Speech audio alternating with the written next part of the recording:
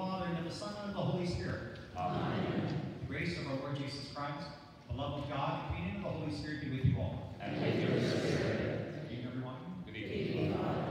For our celebration tonight, we gather together for this memorial, memorial Mass for Father Fernando Suarez the Missionaries of Mary, Mother of the Poor. Special welcome to all of you who are joining us here tonight. Uh, Father Fernando was very dear to our community as he was here at least four times, uh, celebrating healing Mass over the last number of years. I'd like to say a special welcome to uh, Father Peter Angie.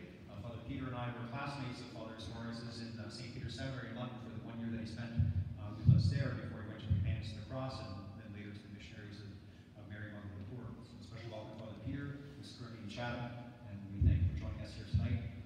We welcome uh, the members of the Missionaries of Mary Mother of the Poor from Toronto. We're blessed to have with us uh, four members from there who have been coming every year with Father Fernando for the healing masses. Uh, Linda and Jean Cezanne, Rodney and Nina Dioso as well. So our, our are with you as well with the loss of your, of your dear friend. We welcome as well uh, Dan and Leanne Devine, who are here with us in our front row here. Dan and Leanne, I had the pleasure of meeting last summer in the Philippines when I went there, and uh, Dan and Leanne were, were uh, helping, uh, were having days with the seminary community before I gave them a retreat, and they were leading in praise and worship sessions and teaching on the Holy Spirit uh, as well. So I know they were very close friends.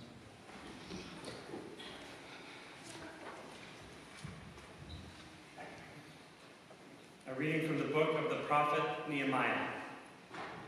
Nehemiah, who was the governor, and Ezra the priest and scribe, and the Levites who taught the people, said to all the people, This day is holy to the Lord your God. Do not mourn or weep. For all the people wept when they heard the words of the law. Then he said to them, Go your way. Eat the fat and drink sweet wine, and send portions to him for whom nothing is prepared. For this day is holy to the Lord. And do not be grieved, for the joy of the Lord is your strength.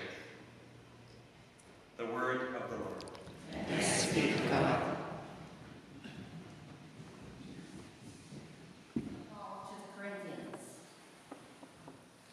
Now concerning spiritual gifts, brothers and sisters, I do not want you to be uninformed. Now there are a variety of gifts, but the same Spirit. And there are varieties of service, but the same Lord. And there are varieties of working, but it is the same God who inspires them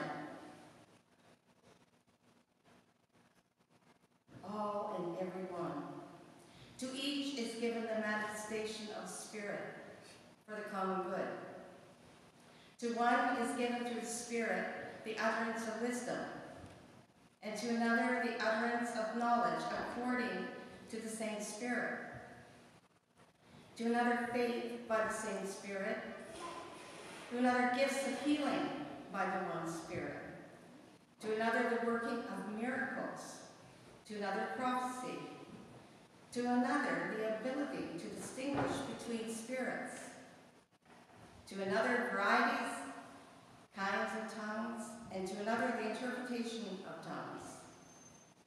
All these are inspired by one and the same Spirit, who apportions to each one individually as he wills. The word of the Lord.